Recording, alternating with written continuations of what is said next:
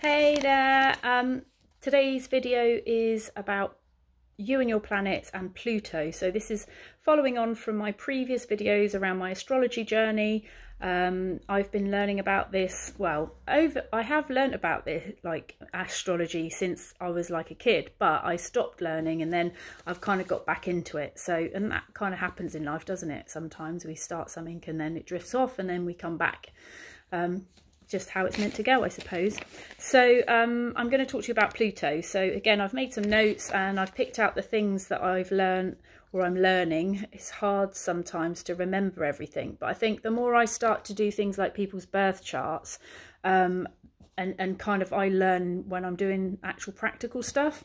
So it's all going to hopefully, it will, it will embed in my brain. Um, and then I'll know it off the top of my head and I'll be able to kind of put it more in my own words. So Pluto's the planet of awesome power. It's power that we um, is something that we find quite hard to understand. So whenever Pluto is in your horoscope, that area of your life will show change or transformation. Pluto's actions bring to light things hidden in the depths of your subconscious and it re releases dormant forces which cause your suppressed energies to erupt.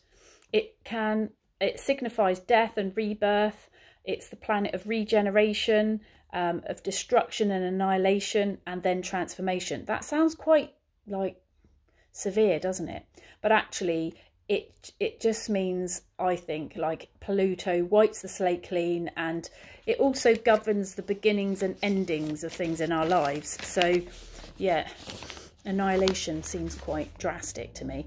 Um, Pluto's influence influences the uncovering of secrets um, of the past to clear a way for the future. So it's kind of that whole, yeah, getting rid of stuff, cleaning the slate, um, starting again, starting afresh.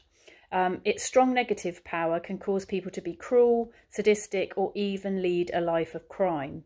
So all of the planets have a negative side as well. Pluto represents the highs and lows of what we're capable of. It's the ninth planet in the solar system. It is actually tiny, a tiny planet. Um, it has very little sunlight because it's quite a long way from the sun. So I find the um, astronomy sort of stuff really interesting as well.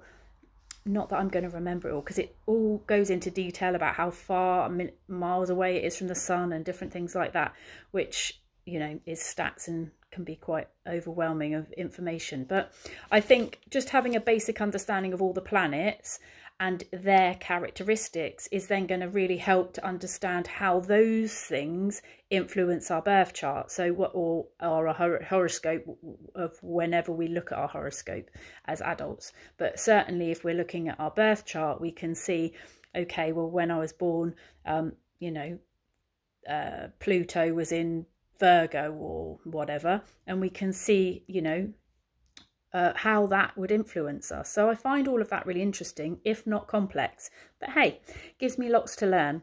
So again, if you've got any questions or um, you know some things that you think might be helpful for me on this learning journey, then please do put them in the comments. Remember to like, follow me if you want to get any more of my content. Um, I do all sorts of random topics. So um, yeah, that's it for today. Next time is um, looking at astrology and the houses.